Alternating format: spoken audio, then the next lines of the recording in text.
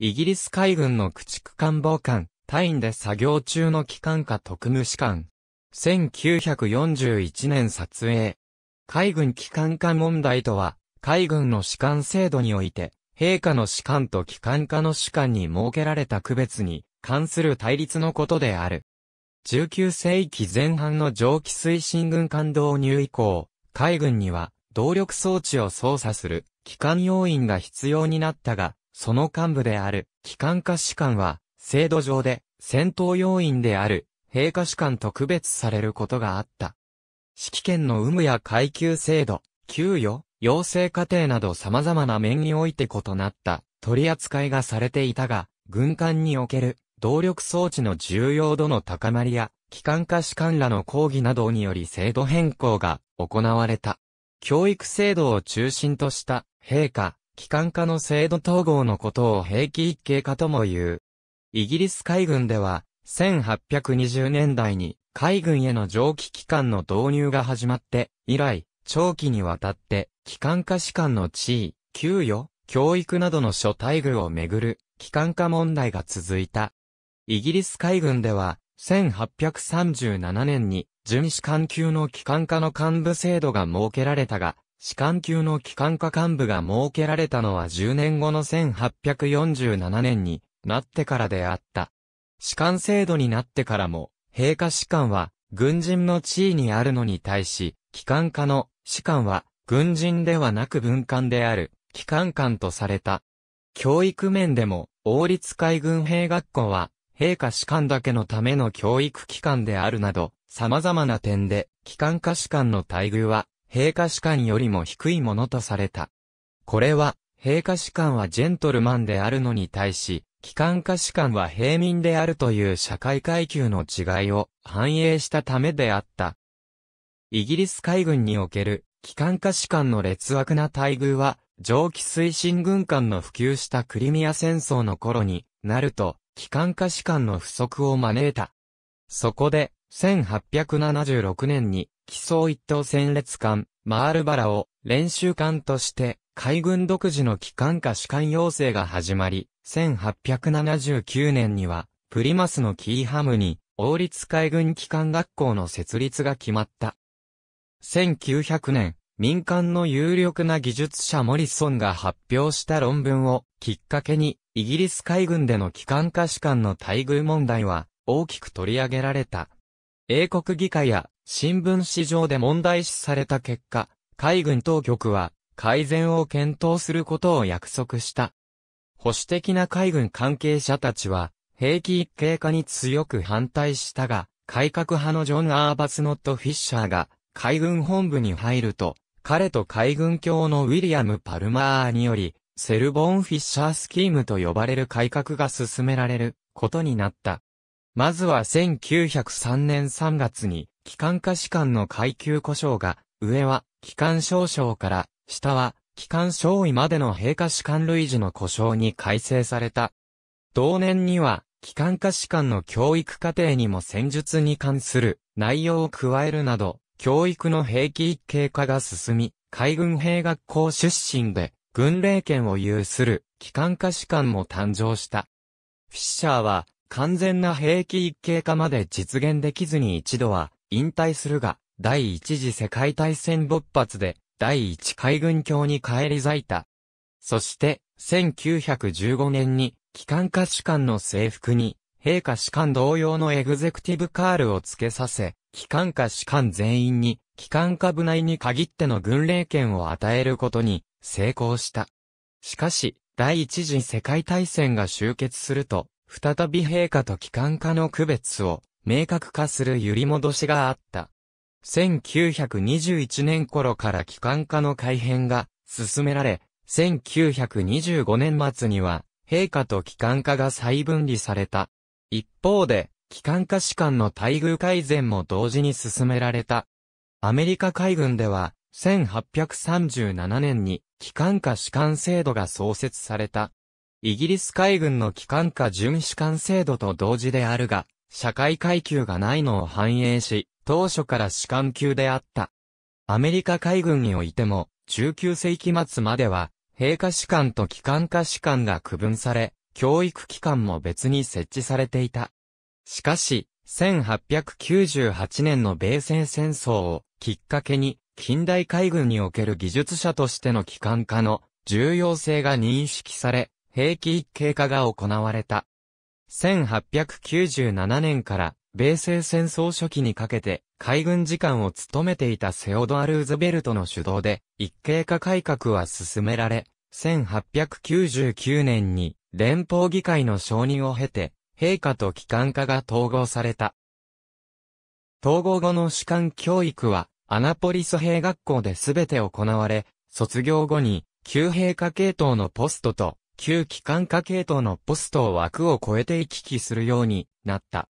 一例として、レーモンド・スプルーアンスは、少尉から、中尉の時にゼネラルエレクトリック社に出向して、電気関係の教育を受け、官邸の機関部署や海軍交渉勤務などを経験、少佐昇進後は、官邸の戦闘部署勤務が中心となっている。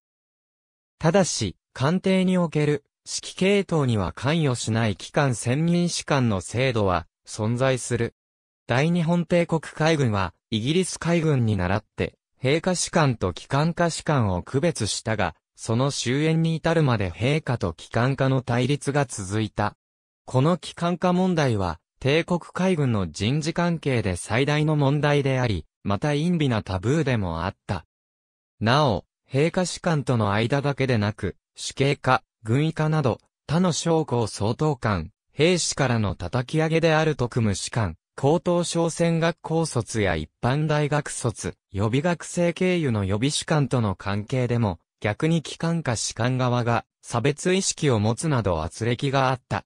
帝国海軍の場合、給与の面はあまり問題にならなかったが、部隊指揮に関する軍令商業権の制限と、教育制度の統合の是非が中心的な争点となった。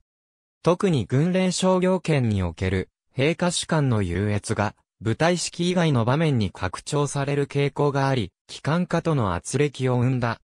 その他、階級制度や高級ポストの少なさから機関化士官の昇進が厳しく制約されたことや、官上勤務が機関長止まりであることから、副長以上上官時の合的栄誉が受けられないなど、様々な場面で霊式に格差があったことも、機関化側には不満とされた。機関化問題は徐々に制度改正が進み、特に太平洋戦争中には教育の一系化や軍令商業権の解放などがあったが、完全な問題解決はできないままに敗戦による海軍解体を迎えた。帝国海軍の創設当初、機関化の主官である機関官は、イギリス海軍同様に分官とされたが、早くも1872年には、軍医官、主計官、秘書官と共に武官に編入された。もっとも、武官といっても戦闘指揮を司る将校ではなく、非戦闘員で格下扱いの将校総統官に分類された。階級も大佐相当の機関大元、大相当は大機関士などと将校と異なった故障が付けられており、最上位者でも少々相当の機関総監と低く抑えられていた。帝国海軍の士官教育では、1873年、お雇い外国人のイギリス海軍士官の指導で、海軍兵学寮の中に機関科が創設されてから、兵科士官と機関科士官の教育が二つに分かれた。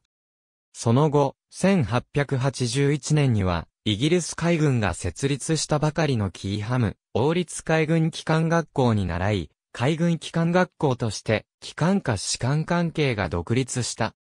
しかし、士族には、職工的な機関科士官の死亡者が少なく、イギリス海軍などに倣って、民間の技術者を機関官に登用する制度が検討され、1887年に一旦は機関学校廃止となった。民間技術者登用の新制度は民間技術者層の薄さから失敗に終わり、やむなく兵学校卒の少尉候補生を機関科士官へ転化させることになった。この一種の兵器一系教育体制のもと、海兵19期では、約半数にも及ぶ人数が機関官となった。将校から、格下の将校総統官への変更になるため、希望者は少なく、成績会社を中心とした反強制的な転化であった。結局、1893年に、機関学校が再設置され、教育課程は再分離された。1894年の日清戦争において、近代的な蒸気推進軍艦の戦闘を経験すると、機関艦の役割の重要性が認識された。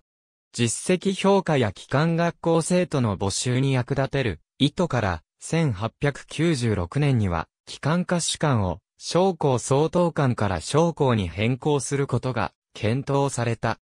この改正案は、召喚会議の内諾までは得られたものの、海軍軍令部が大日本帝国憲法の規定する統帥権の行使は、陛下士官の専権であり、機関科士官は、重戦車に過ぎないとの理由で反対したため、実現しなかった。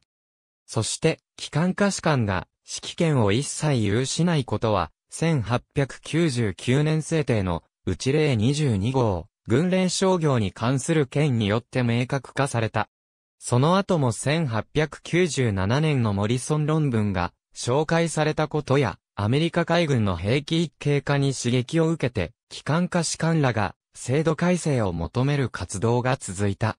日露戦争では、旅順港閉塞作戦参加者の70%を、機関化将兵からの志願者が占めるなど、機関化のさらなる活躍があった。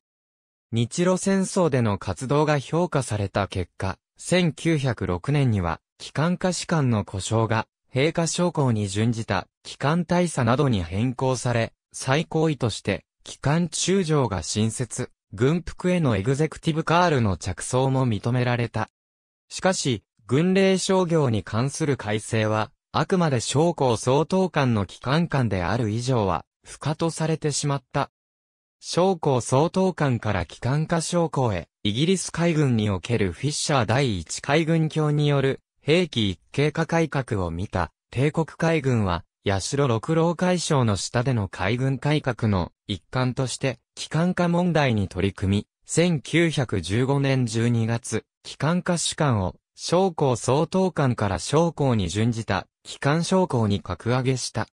同時に、軍令商業に関する権も廃止され、新たに制定された、軍令商業令によって、16年ぶりに、機関化士官にも、軍令商業権が与えられた。1919年9月には、軍医科や主刑科などの将校総統官の解消と合わせて、陛下将校と並ぶ将校カテゴリーの一種としての機関化将校に変更された。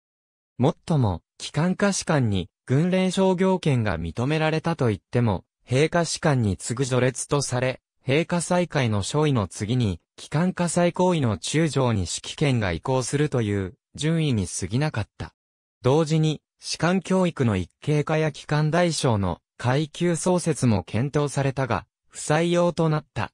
また、1916年3月には、機関科の軍政の総元締めとして、海軍省に機関局を設置した。機関局長は、機関科将校の最高ポストとなった。教育制度調査会と、召喚一系化1923年、機関局長の船橋千夜機関中将が退任に、際して、機関科制度改正を上申したのを受け、宝部表解消は、同年7月に、教育の兵器一系化を審議する海軍教育制度調査会を設置した。岡田次官は調査会設置に反対だったが、宝部海将に押し切られる形で審議が始まった。偶然にも、同年9月の関東大震災で、横須賀の海軍機関学校が消失し、江田島の海軍兵学校と同居することになったため、機関学校教官を中心に教育一系化の要求が高まった。1924年4月、教育制度調査会は、教育一系化につき両論兵器の形の報告を提出した。この報告書は、調査会の一員の平塚保機関局長を退席させて、陛下士官だけで最終決定してしまったものだった。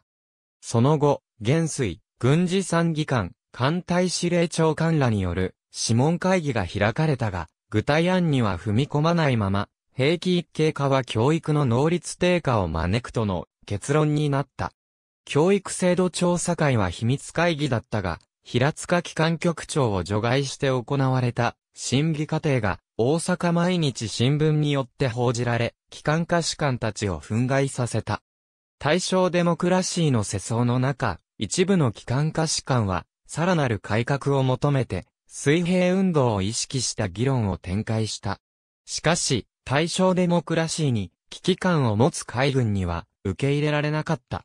この外部組織と結びついた運動は、海軍に非常に有害な影響を与えたとする評価もある。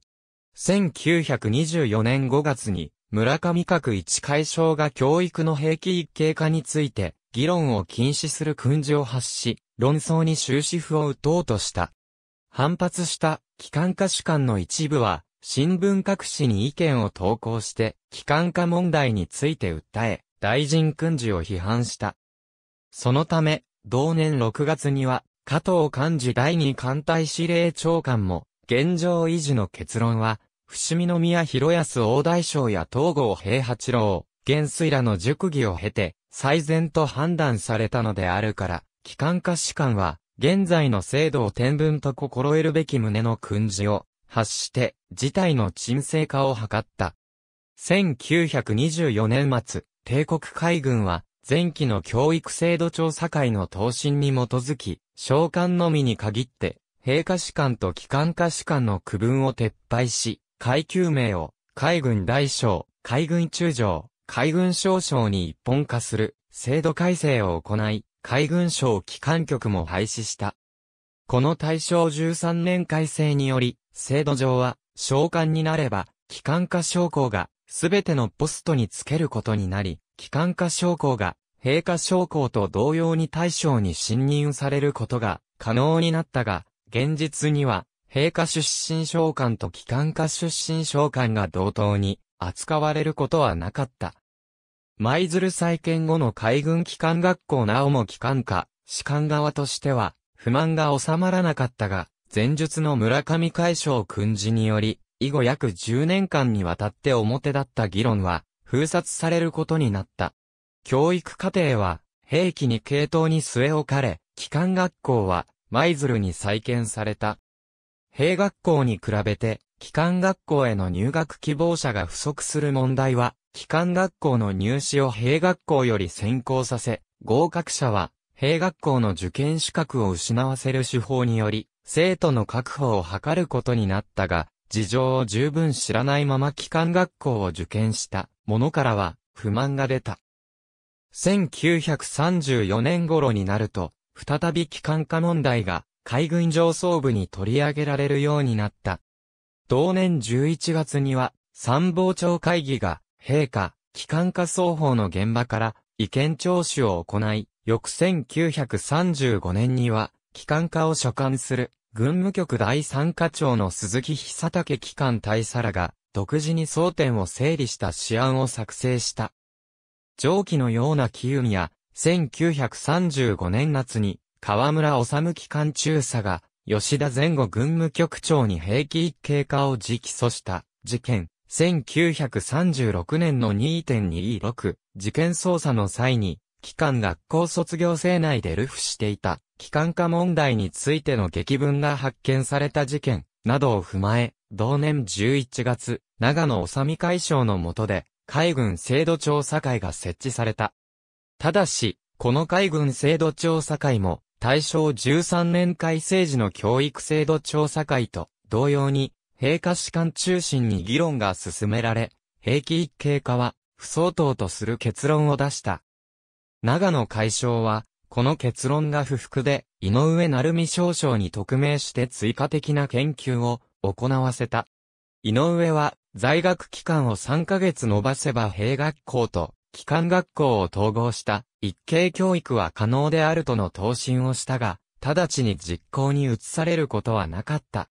1937年には、帝国議会でも、海軍政務次官経験者である、牧山幸三代議士によって、機関化問題が取り上げられるに至った。牧山が、機関化出身の大将が存在しない理由を正したのに対し、米内光政会将は、過去に、対象候補とされながら実現しなかった事例を挙げて、将来的に誕生を希望すると答弁するにとどまった。その後、日米の軍事的緊張が高まった1941年春に、豊田定次郎海軍次官の主導で、軍務局第一課長の高田敏種大佐を主任として、機関化問題に関する制度改正研究が行われた。この際の高田案は、連合艦隊司令長官の山本56大将らにより、混乱を生じる制度改正は、改戦可能性を考えると時期的に不適当であると反対され、実現しなかった。国際情勢不穏を理由に見送られた1941年の兵器一系化改正だったが、実際には太平洋戦争勃発後になって次々と大規模改正が行われる結果となった。まず、1942年11月1日施行で、陛下士官と機関下士官の艦隊制度上の区別が撤廃され、陛下に統合された。機関下士官の階級は、従来の機関中佐などから、陛下と同じただの中佐などに変更された。機関下士官の階級章などに使われていた紫色の識別線も廃止になった。この改正は特務士官の故障変更と同時に実施された。もっとも、この改正は軍令商業権には及ばず、軍令商業令上では、旧機関下士官を将校として区別し、旧兵下士官である将校がいる限り指揮権を承継できない実質に変わりはなかった。軍令商業令の特例という形でのみ、同年12月、海軍陸戦隊などの陸上部隊と、輸送や練習を担当する海軍航空隊に限って、将校、将校を問わず、さらには、特務士官や予備士官までも含めた範囲で、階級によって指揮権継承順位を決することが定められている。1944年8月になって、軍令商業令の大改正が実施され、ついに軍令商業権に関する兵器の原則、平等化が実現した。機関化士官の悲願が、敗戦のわずか1年前になって成就したことになる。改正の目的は、戦闘消耗による、旧兵化士官の人材枯渇を補うことが主たるもので、旧機関化士官の指揮向上も合わせ考慮された。この昭和19年改正では、将校と将校の区分が廃止され、原則として、旧兵下士官、旧機関下士官を問わずに、階級の上下により指揮権を承継する定めとなった。ただし、経過措置として特例が設けられ、軍艦、駆逐艦、潜水艦に関しては、従前通り旧兵下士官が優先される取り扱いとなった。なお、解剖艦などの小型艦艇に関しては別の特例が設けられ、陸上部隊や航空部隊と同じく特務士官などまで含めた範囲で階級で指揮権、継承順位を決定することになっている。大型艦除外の特例が設けられたことに関しては、主要部分で最後まで機関化士官を差別し続けたものと批判する見方がある。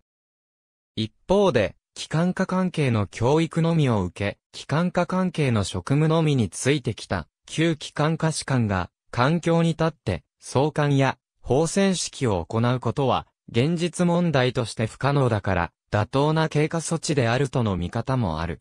指揮権に関する運用の実態としては、機関下出身の海軍航空隊司令が複数名、誕生している。他方、軍令商業令では上位にあるはずの機関下出身の中将が列後する陛下の少将に指揮権を譲らされる事態も発生していた。士官教育面での一系化も大戦中に行われた。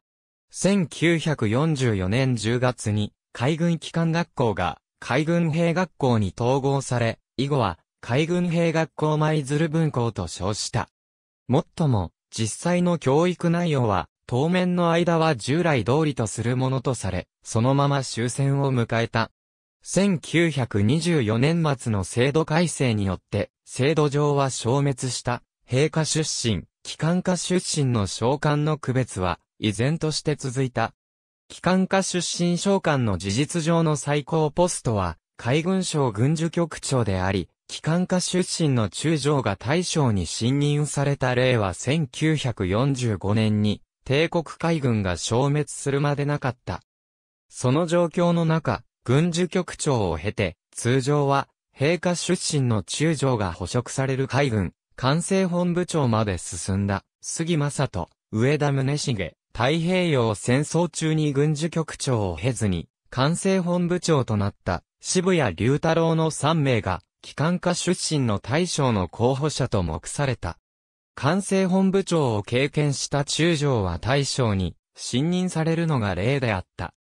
しかし杉は、管制本部長在任中に起きたともつる事件により、隕石辞任、軍令部出資を経て、予備役編入、上田は、管制本部長在職のまま急成、渋谷は、管制本部長在職中に敗戦により、海軍が廃止されたため、いずれも、中将で終わった。渋谷が、管制本部長を務めたのと、同時期に、海軍次官を務めた、井上成美は、戦後になって、海軍が、もう少し続いていれば、渋谷は大将になれたという趣旨の発言をしたという。渋谷11月中将、1945年11月予備役は、井上11月中将、1945年5月大将、1945年10月予備役、より1年遅れで進級していた。太平洋戦争中は、中将進級後、5年半経過して、予備役に編入されない者は大将に信任される、例であった。